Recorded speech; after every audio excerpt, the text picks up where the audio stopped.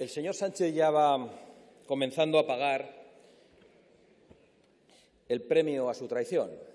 El señor Sánchez en estos momentos está condenado a vivir en el chantaje permanente hasta el último minuto de cada votación durante esta legislatura.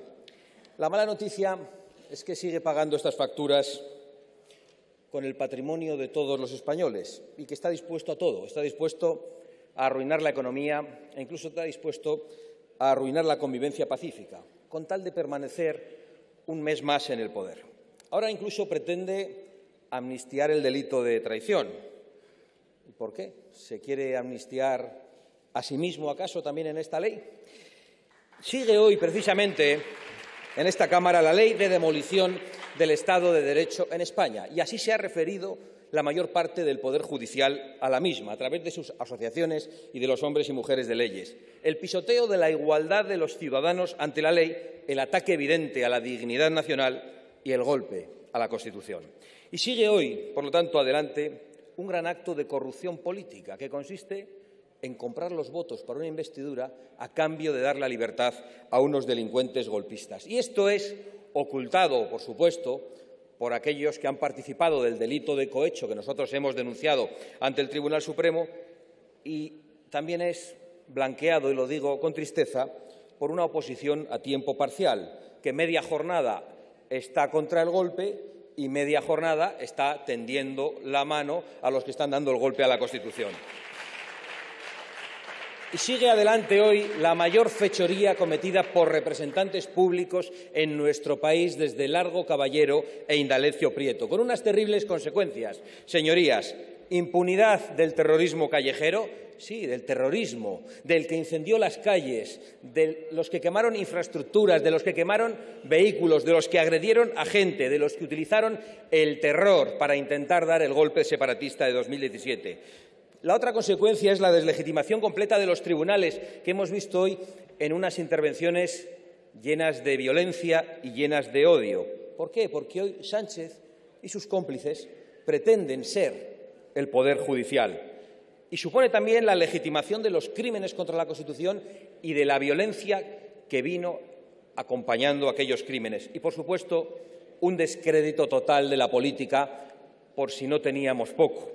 Porque la gente normal, que cumple con las leyes, la gente que paga las multas cuando se equivoca, que paga sus impuestos cuando no está de acuerdo, a esa gente no se le perdona nada por parte del poder público. Y esa gente hoy ve que para que se perdonen los más graves delitos cometidos por políticos hay que ser necesarios para la investidura de los socialistas. Y es normal que al final la gente en la calle ve este Congreso y en vez de una Cámara seria, pues piensa que es una cueva de facinerosos o un mercado persa donde se negocian intereses demasiadas veces espúreos.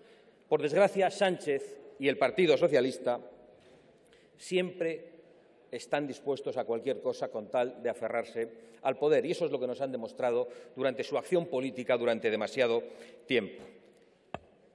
Porque lo que hoy se está haciendo aquí lanza un mensaje terrible. Si romper la convivencia como se rompió en el año 2017, no tiene castigo, es que entonces tiene premio. Y ahora quieren amnistiar a los que quisieron provocar una guerra en Cataluña, a los que rompieron la convivencia, pero a los que, menos mal que no llegaron a lograr lo que pretendían, porque lo impidió el rey, y lo impidió el pueblo español, y lo impidieron los jueces, y no a las órdenes del Gobierno, porque actuaron precisamente antes que la abogacía del Estado y antes que los poderes públicos.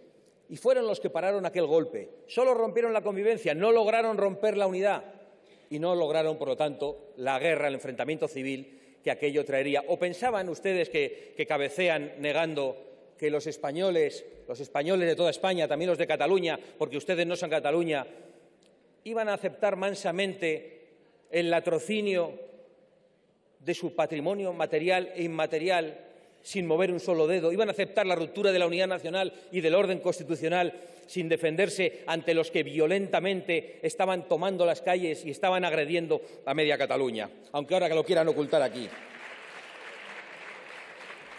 Al final los españoles que hoy están viendo la tele ven a un gobierno dispuesto a todo y ven a una casta superior que viene aquí a decir que ellos están por encima de la ley y que son mejores que los demás.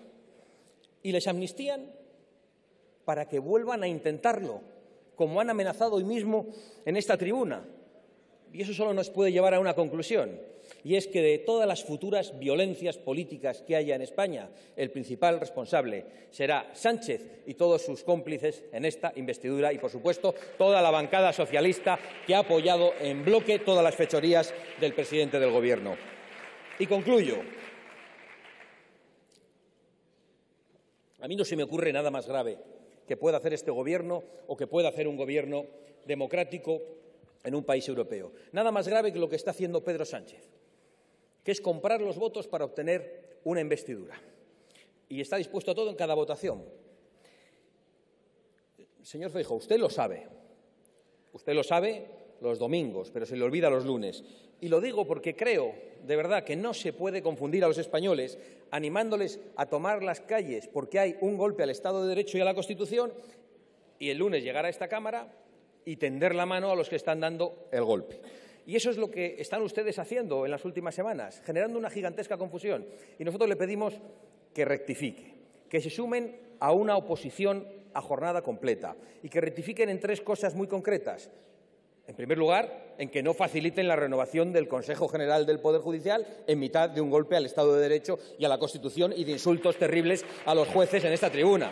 En segundo lugar, ya que ustedes han cometido el error de ir de la mano en la reforma de la Constitución con el Gobierno que golpea la Constitución, al menos no hurten a los españoles la posibilidad de decidir sobre algo tan grave como lo reformado en el artículo 49 en las votaciones en el Congreso y en el Senado, y es la consagración de la desigualdad entre los hombres y mujeres con discapacidad.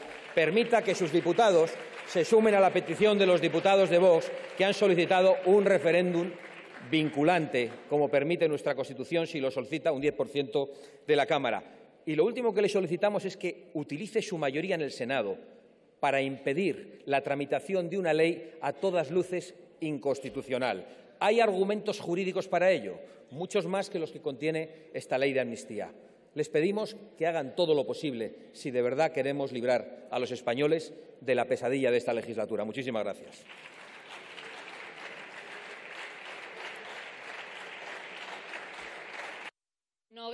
Acusado con nombre y apellidos a magistrados, al juez Marchena, al juez Aguirre y al juez García Castellón, acusándoles de jueces prevaricadores. Y, en segundo lugar, la diputada Velarde ha señalado también al magistrado García Castellón y le ha acusado de loafer. Por lo tanto, nosotros solicitamos que se le llame al orden y que por parte de la presidencia se observe el reglamento y se impida que se repita esto. Políticos señalando a jueces desde el atril del Congreso a los diputados, algo absolutamente impropio de un Estado democrático de derecho y más propio de un régimen totalitario y de una república bananera. Así que, por favor, solicitamos la llamada al orden y que por parte de la Presidencia se evite este tipo de comportamientos impropios de un Estado democrático y de derecho.